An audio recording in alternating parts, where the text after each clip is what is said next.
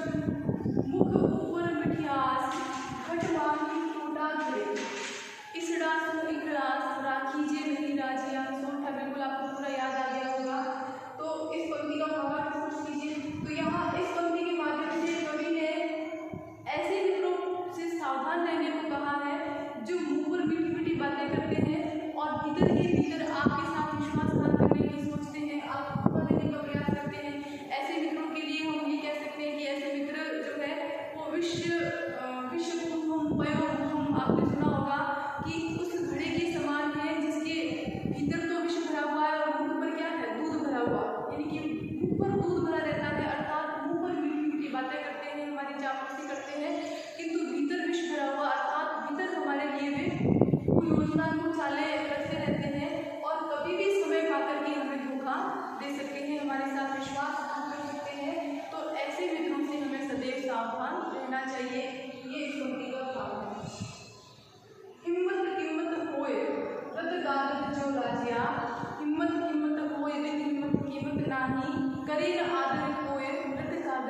आ गया तो देखें इस भूमि का भाव होनी इस भूमि के माध्यम से मनुष्य की किस गुण की औषधि किया है। तो देखिए, इस भूमि के माध्यम से कवि ने व्यक्ति के साहस नामक गुण की ओर संकेत किया है कि व्यक्ति में कुछ भी कार्य को करने की हिम्मत होनी चाहिए, साहस होना चाहिए, तभी समाज के अंदर उसकी, तभी समाज के अंदर उसका मूल्य होगा और मान सम्मान उसको दिया जाएगा। अन्यथा अन्यथा समाज के अंदर उसकी स्थिति गद्दी कागज़ की भांति उपेक्षित हो जाएगी। कुछ लोग ऐसे होते हैं जो क्योंकि जीवन में आगे बढ़ने के अवसर बहुत कम मिलते हैं तो उन अवसरों में चुनौतियों को पाकर के बहुत से लोग घबरा जाते हैं और इस तरह से घबरा जाने वाले लोग जीवन में कभी भी आगे नहीं बढ़ सकते, ऊँची सफलता पा नहीं सकते। तो ऐसे लोगों का समाज में किसी प्रकार का मान सम्मान नहीं होता है तो चुनौतियों से न घबरा करके और जीवन में हर चुनौती का सामना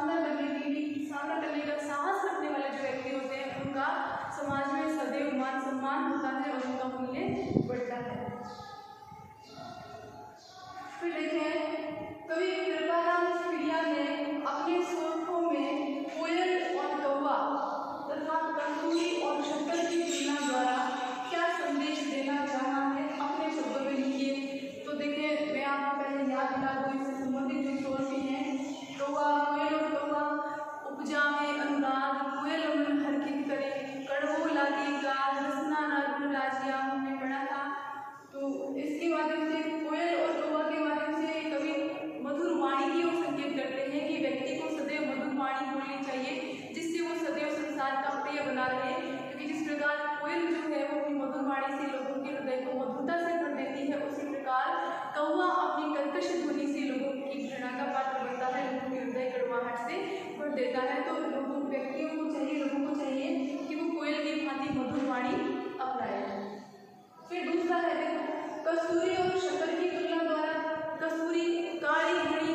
कस्तूरी कांटा तुले शक्कर बड़ी स्वरूप रोड़ा तुले राजिया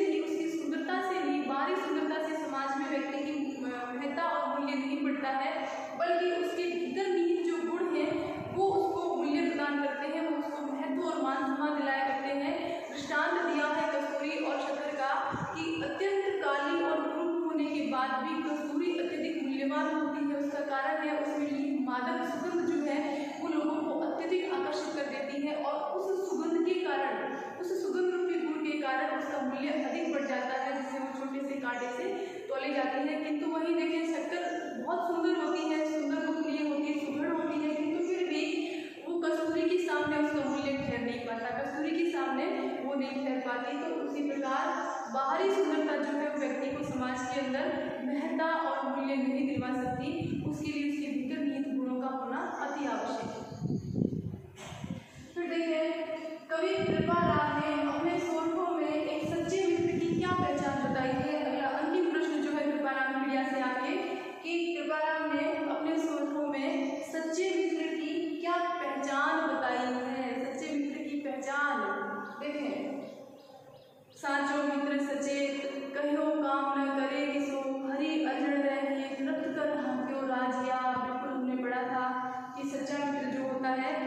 सदैव अपने मित्र की भलाई के लिए सतर्क रहता है, तैयार रहता है, सावधान रहता है कि कभी भी उसे किसी भी कार्य के लिए मना नहीं करता वो।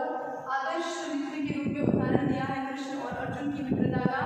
कवि कहते हैं कि श्री कृष्ण द्वारिका के छोड़ने के बाद भी अपने मित्र अर्जुन की भलाई के लिए उन्होंने महाभारत के युद्ध में अर्जुन का सारथी बनकर के उनके रथ को अपने हाथों से चलाना स्वीकार किया था, इसका कारण मित्र की भलाई थी।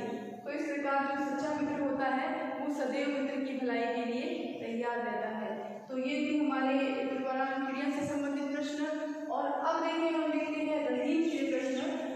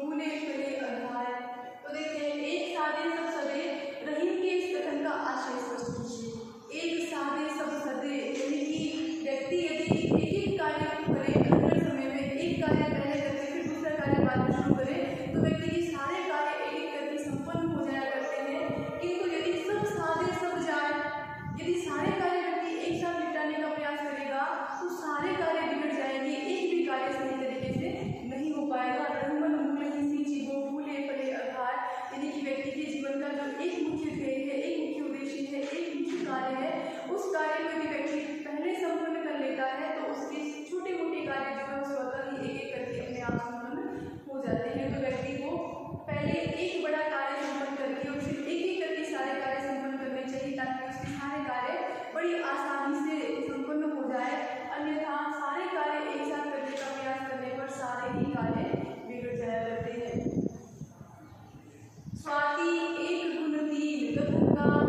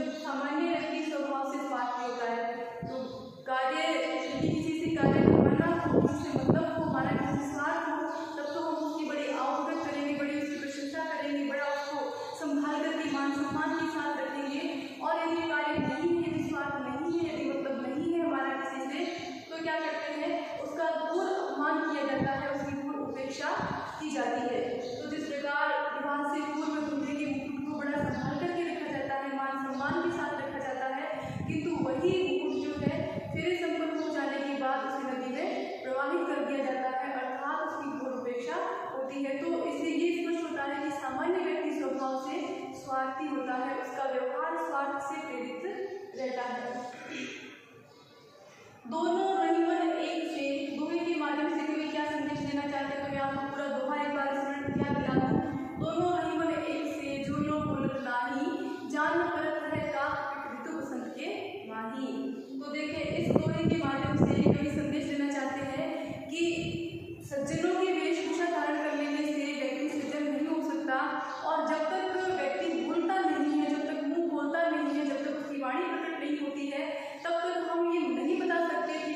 निर्जन है अथवा दुर्जन है गुरहीन है अथवा गुणवान है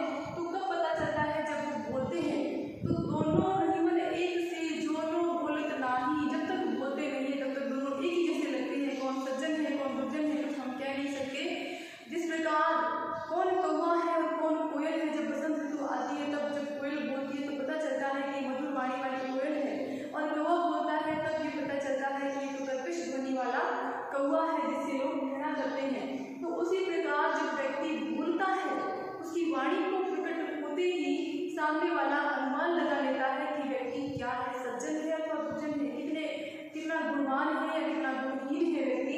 उसकी वाणी से पता चलता है तो संदेश ये है कि व्यक्ति को सदैव अपनी वाणी को संयमित और मधुरता और विनम्रता से युक्त रखना चाहिए, जिससे कि उसके सज्जन स्वभाव का परिचय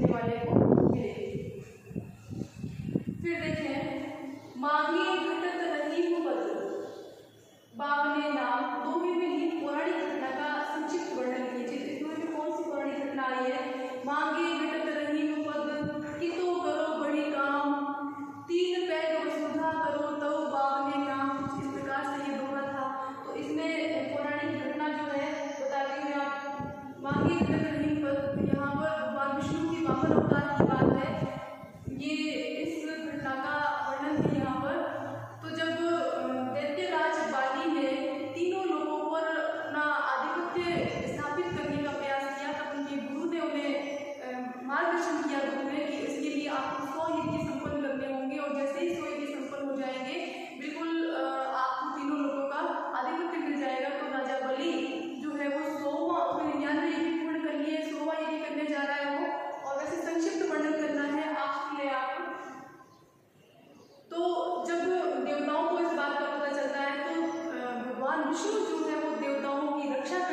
राक्षसों से वामन का अवतार बटू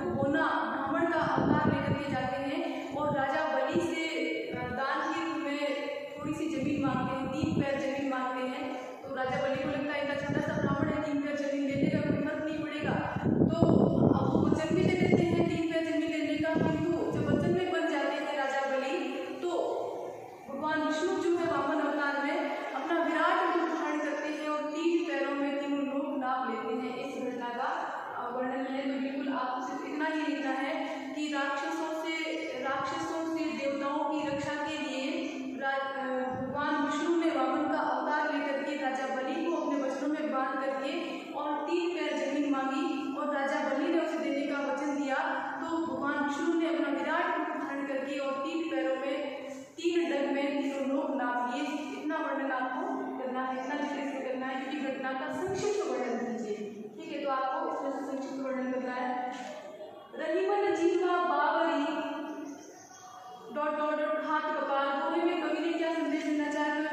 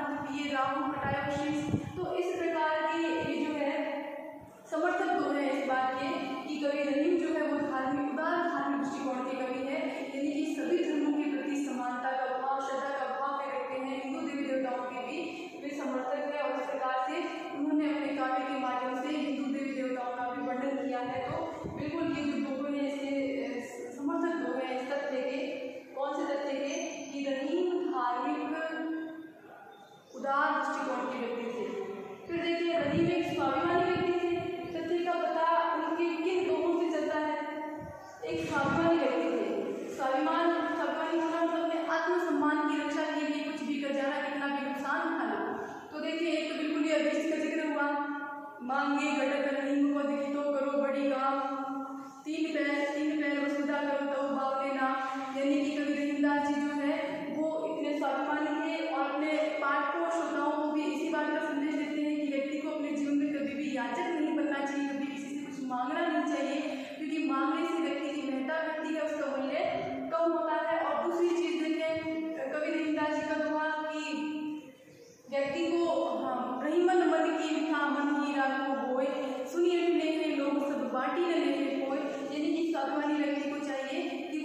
मन की व्यथा को मन के भीतर ही रखे दूसरों के सामने प्रकट न करें। इसका कारण ये है कि सुनने वाले आपकी व्यथा को सुन करके आपकी पीड़ा को सुन करके आपको हँसी उड़ाएँगे, आपको उपहास का पात्र बनाएँगे, खिलाएँगे और कोई आपके आपके दुख को साझा करने वाला कोई नहीं मिलेगा, आपके दुख को बांटने वाला कोई नहीं मिलेगा, आपको सांत्वना प्रदान करने वाला कोई नहीं मिलेगा। तो इस प्रकार स्वाभिमानी व्यक्ति को चाहिए कि वो अपने हृदय की व्यथा को हृदय के भीतर ही छिपा करके रखे, बाहर प्रकट ना होने दें। अब देखिए, अंतिम प्रश्न जो है आपके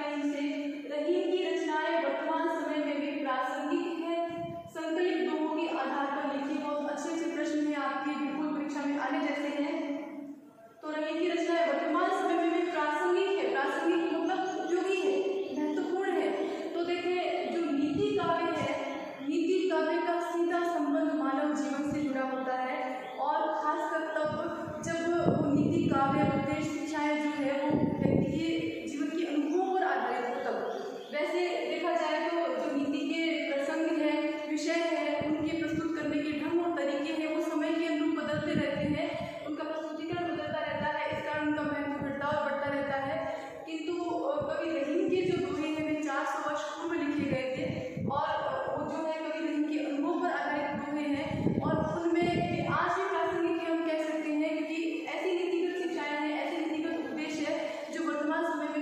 जीवन के लिए उपयोगी है।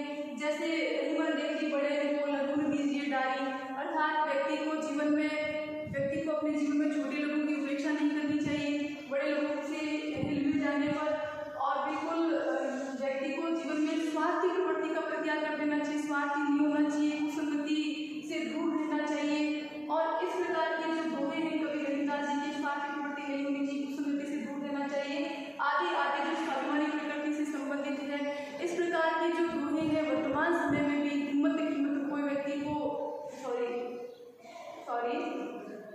इस प्रकार जो व्यक्ति हाँ मधुर वाणी बिल्कुल व्यक्ति की होनी चाहिए।